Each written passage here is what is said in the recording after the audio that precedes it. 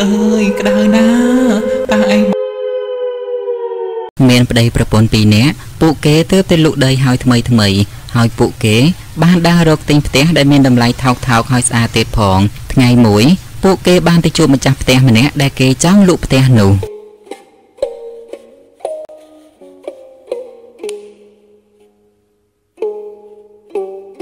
សួស្តីលោកពូខ្ញុំឮថាលោកពូចង់លក់ផ្ទះមែនទេ ពូកុំលក់ផ្ទះឲ្យខ្ញុំថ្លៃពេកណាព្រោះខ្ញុំដឹងហាងឆេងអស់ហើយខ្ញុំមិនមែនមនុស្សល្ងងទេលោកពូក៏មិនចង់កោខ្ញុំវាទៅមិនរួចនោះទេចុំ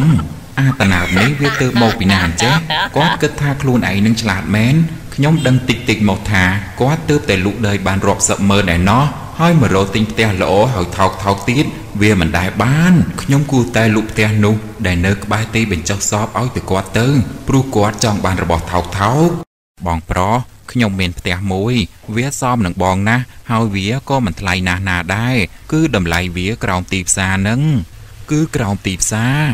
ខ្ញុំរកផ្ទះអាល្អអញ្ចឹងតាខ្ញុំចង់ទៅទិញវាឥឡូវនេះតាយើងនាំគ្នាទៅមើលផ្ទះនោះទៅខ្ញុំចង់បានអេមិនបានទេប្រសិនបើខ្ញុំបង្ហាញផ្ទះទៅគាត់ឥឡូវនេះគាត់នឹងដឹងអំពីទីបញ្ចុះសពនោះដែរហើយខ្ញុំគិតថាគួរតែនាំគាត់ទៅពេលយប់ទើបគាត់មិនដឹងអូណែបងប្រុសឥឡូវនេះខ្ញុំមានការបន្ទាន់ ខ្ញុំមិនបានជួនបងទៅមើលឥឡូវនេះទេអញ្ចឹងចាំខ្ញុំនាំបងទៅមើលផ្ទះនោះពេលយប់និយាយរួចហើយម្ចាស់ផ្ទះនោះក៏បានចាក់ចេញទៅលុះដល់ពេលយប់ម្ចាស់ផ្ទះក៏បាននាំពួកគេទៅមើលផ្ទះនោះគាត់ស្រឡាញ់ផ្ទះនោះណាស់ព្រោះតែវាថោកនិងល្អទៀតផងគាត់បានទិញផ្ទះនោះយ៉ាងសប្បាយរីករាយហើយក៏បានប្រគល់ប្រាក់គ្រប់ចំនួនឲ្យទៅម្ចាស់ផ្ទះហើយម្ចាស់ផ្ទះក៏បានចាក់ចេញពីទីនោះទៅហើយពួកគេ ក៏បានចូលទៅនៅក្នុងផ្ទះនោះដោយក្តីរីករាយបងអូនគិតថាផ្ទះនេះមើលទៅគួរថ្លៃខ្លាំងណាស់ហើយមើលទៅស្ងាត់ខ្លាំងណាស់បងមិនអីទេណាអូនផ្ទះថ្មីគឺវាអញ្ចឹងហើយវាគ្មានទៅស្អីទេ យើងនៅយូរយូរទៅគឺវាលែងអីហើយតែយើងដល់ម៉ោងចូលសម្រាប់ហើយចូលទៅក្នុងផ្ទះទៅបន្ទាប់មកពួកគេទាំងពីរនាក់ក៏បានដេកលក់ លុះដល់ពាក់កណ្ដាលត្រៀតក៏មានសម្លេងចម្លែកមួយបានចេញពីកន្លែងបញ្ចុះសពនោះបន្ទាប់មកក៏មានដៃម្ខាងចេញពីភ្នោមួយ ពេលនោះក៏មានសម្លេងគួរឲ្យខ្លាចប្រពន្ធរបស់គាត់បានភ្ញាក់ឡើង នាងមានការភ័យខ្លាចយ៉ាងខ្លាំងអេលោកប្តីក្រោកឡើងបងណាមានលឺសំឡេងអ្វីទេក្រោកឡើងក្រោកឡើងបងតើអ្នកណាគេនៅក្រៅបង្អួចនោះឆាប់ចាញ់ភ្លាមទៅកុំមករំខានខ្ញុំដេកអី បន្ទាប់មកខ្មោចនោះក៏បានចេញពីមឈូសហើយក៏បានចាប់ផ្ដើមធ្វើដំណើរឆ្ពោះទៅផ្ទះនោះម្ដងទៀត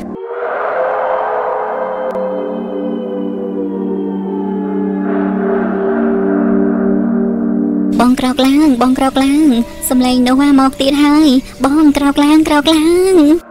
អូនណាមិនមានអ្នកណាម្នាក់នៅទីនោះទេ អូនមិនត្រូវខ្លាចទេអូនឆាប់ដេកឲ្យស្ងៀមទៅបន្ទាប់មកពួកគេទាំងពីរនាក់ក៏បានដេកលក់ម្ដងទៀតប៉ុន្តែខ្មោចនោះ ក៏បានចាប់ផ្ដើមព្យាយាមបំបែកបង្អួចយ៉ាងខ្លាំង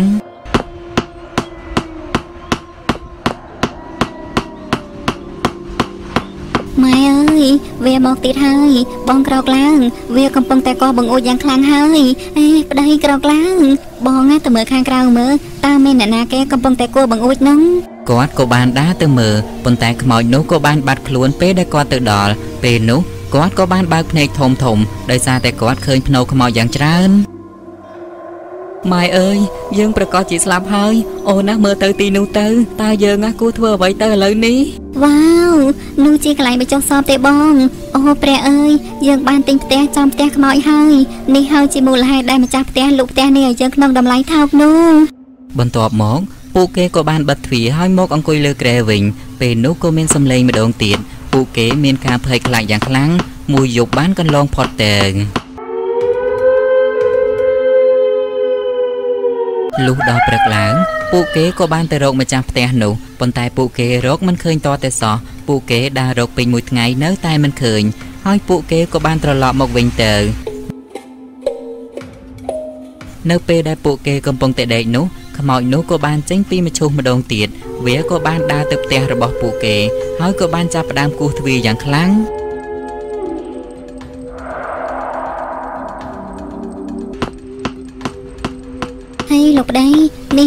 មាននរណាម្នាក់កំពុងតែគោះទ្វាររបស់យើងម្ដងទៀតហើយខ្ញុំគិតថាមានមនុស្សអាក្រក់ចង់មករករឿងពួកយើងហើយណាម៉ែវាឯងចាំមើលណាខ្ញុំនឹងទៅវាយវាឲ្យដឹងដៃតែម្ដងឯងណាច្បាស់ជីមិនរួចខ្លួននោះទេថ្ងៃនេះ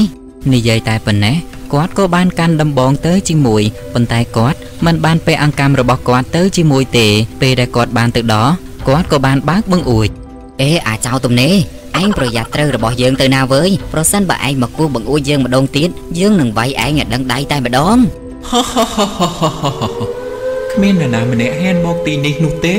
ខ្ញុំមិនដែលឃើញមនុស្សមកទីនេះអស់រយៈពេលជាច្រើនឆ្នាំហើយខ្ញុំមកពិតជាអបសោកខ្លាំងណាស់អ្នកគឺជាអ្នកចិត្តខាងរបស់ខ្ញុំខ្ញុំនឹងនាំអ្នកទៅលេងផ្ទះរបស់ខ្ញុំពេលលើដូចនេះហើយ គាត់មានការភ័យខ្លាចយ៉ាងខ្លាំងស្រាប់តែខ្មោចបានចាប់អស់គាត់ចេញមកក្រៅម៉ែអើយនេះគឺជាខ្មោចនេះឯងណាចាប់ខ្ញុំធ្វើអីដោះលែងខ្ញុំទៅដោះលែងខ្ញុំទៅម៉ែវាម៉ែវាជួយខ្ញុំផងជួយខ្ញុំផងជួយខ្ញុំផងខ្មោចក៏បានចាប់អស់គាត់ទៅក្នុងមឈូសទៅមិនបានទេខ្ញុំត្រូវតែទៅជួយគាត់បើមិនដូច្នេះទេខ្មោចនឹងចាប់គាត់ចូលទៅក្នុងមឈូសហើយបន្ទាប់មក នាងក៏បានរត់ទៅចាប់ដៃប្តីរបស់នាង នាងបានព្យាយាមទាញគាត់ប៉ុន្តែនាងទាញមិនឈ្នះខ្មោចនោះទេខ្មោចនោះក៏បានទាញគាត់យកទៅប្រពន្ធសម្លាញ់អូនមិនអាចទាញឈ្នះវាបានទេប្រពន្ធសម្លាញ់អូនមិនអាចទាញឈ្នះវាទេខ្មោចនេះមានអធិពលខ្លាំងណាស់អូនរត់ឲ្យឆ្ងាយទៅ បើមិនដូច្នេះទេ វានឹងអស់អូនទៅជាមួយបងហើយ អូនចាប់រត់ចេញទៅរត់ចេញទៅ ម៉ែអើយតើមាននរណាម្នាក់ជួយខ្ញុំបានទៅបងប្អូនអើយជួយប្តីរបស់ខ្ញុំផងបន្ទាប់មកខ្មោចនោះក៏បានចាប់ផ្ដើមទាញគាត់ចូលទៅក្នុងមឈូសចប់ហើយខ្ញុំវាបានទាញខ្ញុំចូលទៅក្នុងហើយខ្ញុំច្បាស់ជាស្លាប់ហើយមែនទេម៉ែវាម៉ែវាជួយខ្ញុំផង បន្ទាប់មកនាងក៏បានចាប់ទាញគាត់ឡើងប៉ុន្តែវាគ្មានប្រយោជន៍នោះទេព្រោះតែខ្មោចនោះវាមានកម្លាំងខ្លាំងណាស់អូនអើយអូនមិនអាចជួយបងបានទេ បងលាអូនហើយ ចាំអូនបន្តិចណាបង អូនណារត់ទៅផ្ទះមួយផ្លែត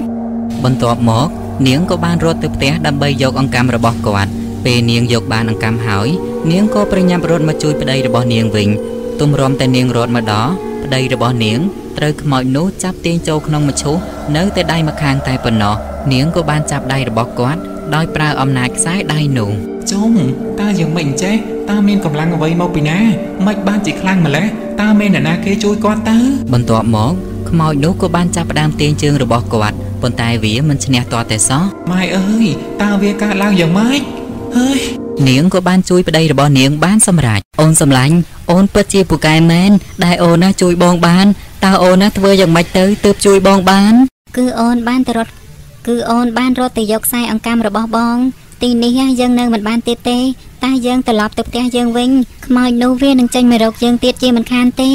ជប់សិនបងត្រូវតែធ្វើរឿងអ្វីមួយហើយនៅពេលនេះអូនឲ្យខ្សែអង្កាំមកបងមក បងត្រូវតែសម្លាប់ខ្មោចនេះទើបយើងណាបានរស់សុខស្រួលបន្ទាប់មកគាត់ក៏បានបោះអង្កាំនោះចូលទៅក្នុងមឈូសម៉ែអើយក្តៅណាស់តើឯងបោះអ្វីចូលមកក្នុងហ្នឹង